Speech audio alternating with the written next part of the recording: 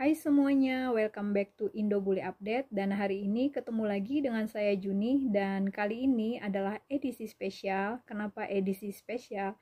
Karena saya akan membagikan tips bagaimana untuk mendapatkan suami bule dan hal ini saya ceritakan berdasarkan pengalaman saya karena di YouTube channel saya juga ada beberapa orang yang menanyakan bagaimana untuk mendapatkan suami bule. Karena saya ada update mengenai pernikahan saya dengan suami saya di Bali.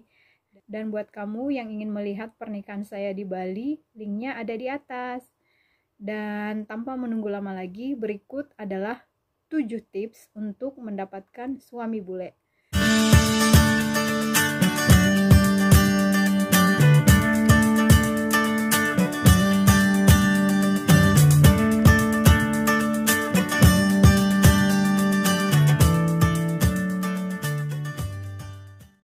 Jadi, pertama-tama buat kamu yang ingin mendapatkan suami bule, pertama-tama kamu harus bisa bahasa Inggris.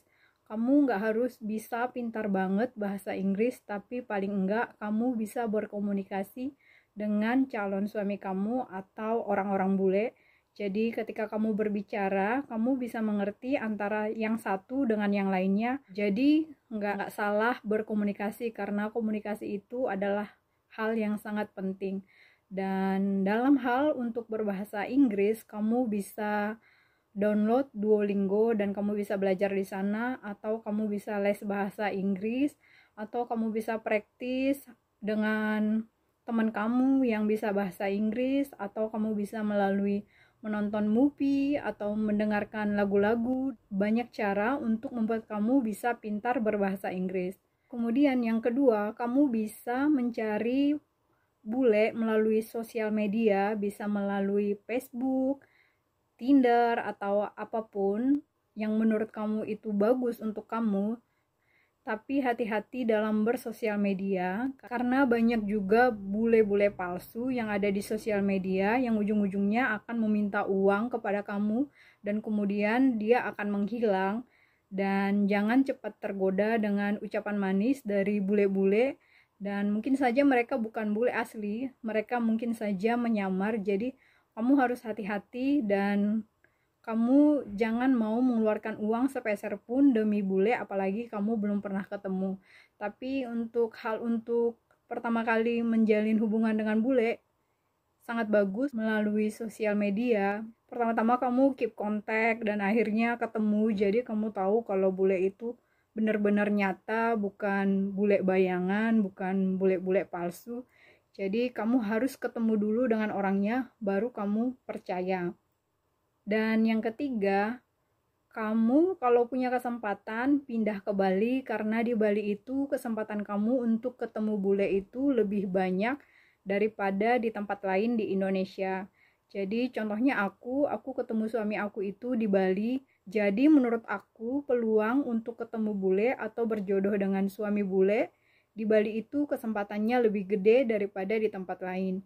Jadi buat kamu yang mempunyai peluang besar dan ingin mempunyai suami bule, silahkan pindah ke Bali. Dan yang keempat, kamu kalau ketemu bule itu SKSD, sok kenal, sok dekat gitu.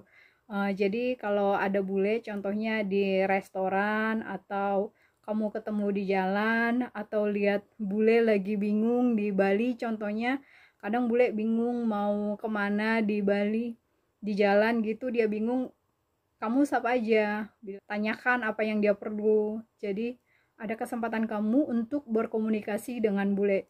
Jadi nggak salah SKSD sama bule. Siapa tahu bulenya menyambut kamu. Namanya juga usaha. Jadi kenapa enggak? Lebih baik dicoba kalau bulenya cuek ya udah cuekin aja. Kan besok nggak ketemu lagi sama dia. Tapi kalau bulenya baik dan akhirnya kamu bisa keep kontak dan akhirnya komunikasi terjalin dan akhirnya menikah. Siapa tahu kamu beruntung.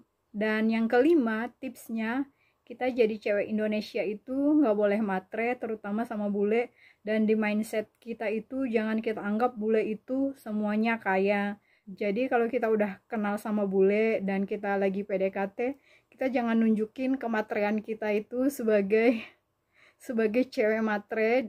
Jadi kita itu harus seperti biasa biasa aja. Jadi contohnya kalau kita makan di restoran jangan langsung pilih makanan yang paling mahal. Jangan langsung pilih restoran yang paling mahal. Jadi kita harus biasa aja. Umpamanya kalau kita makan kalau diajak ya udah pilih restoran yang biasa aja. Kemudian pilih menu yang biasa aja. Kalau bisa juga kamu tanyakan sama dia kalau kita mau makan apakah aku boleh pilih makanan ini? Jadi dia nggak langsung menganggap kita itu sebagai cewek matre. Dan yang keenam dan menurut saya ini juga penting. Jadi kalau kamu punya angan-angan suami bule jangan langsung berangan-angan pengen punya suami bule yang ganteng, yang kaya, yang semuanya baik-baik. Jadi menurut aku yang paling utama itu cari suami itu dia harus yang baik. Kalau masalah ganteng itu itu bonus. Kalau menurut aku ini juga penting banget. Jangan kita tergoda dengan gantengnya dia, karena dia ganteng terus dia kasih jurus yang membuat kita terlena sedikit aja dan akhirnya kita terjerumus jadi kita harus tetap menjaga diri kita baik-baik jadi pilihlah calon suami kita pilihlah bule-bule yang baik. Karena banyak juga bule itu ganteng tapi dia tanda kutip istilahnya mungkin dia ada untuk hanya menipu gitu. Jadi lebih baik cari yang benar-benar baik. Nggak harus ganteng tapi yang pasti dia baik dan dia mau menikah sama kita dan mau hidup berumah tangga dengan kita dan mau bertanggung jawab dengan kehidupan kita. Dan yang ketujuh, dan ini adalah yang terakhir, dan ini tidak kalah penting dengan nomor satu sampai dengan enam. Menurut saya, jadilah cewek yang baik, yang perhatian sama si bule, karena bule biasanya menilai kita, karena kita udah berhasil PDKT sama dia, jadi keep menjadi orang baik keep menjadi cewek yang Indonesia yang ramah yang yang selalu perhatian. Jadi kita jangan jangan cengs istilahnya kita jangan jangan berubah karena kita udah bisa PDKT akhirnya kita seenak kita sama dia.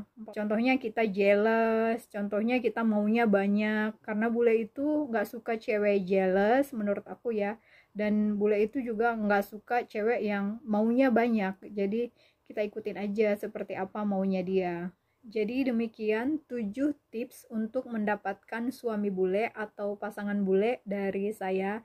Dan ini berdasarkan pengalaman pribadi saya sehingga saya menikah dengan bule dan sekarang saya tinggal di Eropa di Republik Ceko.